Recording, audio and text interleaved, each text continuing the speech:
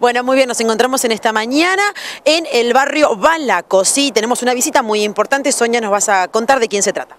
Bueno, muchas gracias por acompañarnos siempre y acá estamos eh, muy contentos de tener tres profesionales médicos eh, en diferentes áreas, Carlos, Pablo y Alejandro. Vinieron hoy a visitarnos, paseamos primero por el barrio Polígono y ahora estamos acá en barrio Balaco eh, charlando con vecinos, con mamás, papás, con algunas preocupaciones, más que nada por la salud de, los niños. Así bueno, eh, doctores, quiero que obviamente, eh, bueno, ya los conocemos y, los hemos visto, sobre todo al señor Carlos Camborian, lo hemos visto sobre todo en medios nacionales, pero bueno, quiero que nos cuenten justamente cuál es el motivo de esta recorrida y de venir específicamente a Salto. El motivo es el motivo que este, a uno lo lleva a recorrer la provincia de Buenos Aires cuando trabaja de médico y ve y siente y es convocado porque eh, eh, esto de la salud accesible en la provincia de Buenos Aires es una mentira desde hace décadas.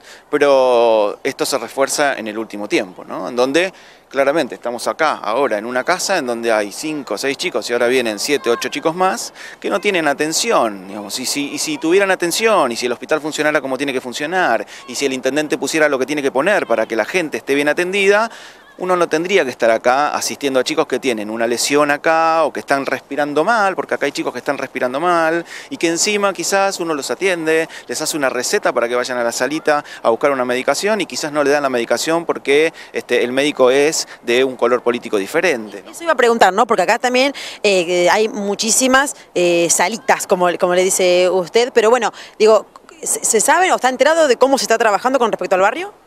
Sí, bueno, no sabía y vine a empaparme también de cómo está trabajando el, digamos, el sistema de salud acá, pero más que nada, digamos, uno sabe que con tres centros de salud en Salto y un hospital que quizás no da la asistencia que la gente necesita y se nota a las claras y en la realidad, insisto, venimos de atender chicos que no tienen cómo asistir al hospital, ¿no? Eh, por ejemplo, ¿revisó las libertades sanitarias de las vacunas? Digo, hay, hay ¿Están completas, no? Todavía no lo hice porque nos dedicamos a la emergencia. Estamos en una situación de emergencia porque hay dos chicos que están respirando mal. Y ahí recién vine para acá y allá en la, a dos cuadras hay una ambulancia de SAME limpiando la camilla. ¿no? Y acá hay dos chicos que respiran mal. Y la gente no sabe cómo convocar a la ambulancia de SAME. Es decir, tenemos un sistema de salud que se dice accesible, pero es una mentira, vuelvo a decir. Y los centros de salud son casas abandonadas en donde una enfermera que se está por jubilar o un médico que tiene un sumario en el hospital atiende ahí porque es un castigo. Cuando tiene que ser al revés. Cuando el centro de atención primaria es donde tienen que estar los mejores profesionales. Así que hay una obligación que nosotros tenemos, yo digamos, claramente después de toda la exposición y de toda la crítica que yo tuve y que tengo y que voy a seguir teniendo, Hoy tengo un posicionamiento político y con este posicionamiento político, sabiendo y conociendo que sí la política puede cambiar las cosas, venimos a saber cómo está la salud en Salto para traer herramientas y cambiarlas cuando dentro de dos años tengamos la obligación y la responsabilidad de llevar un país adelante. Eh, dijo, bueno, estoy convencido de que la política es una herramienta y que se puede cambiar las cosas desde la política. ¿Qué hace la política?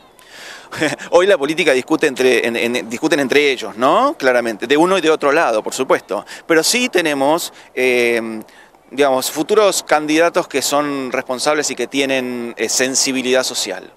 Eh, uno de ellos, por ejemplo, es Cristian Ritondo, ¿no? que me dijo él, personalmente, necesito que vayas a Salto porque allá hay un problema de salud muy grave.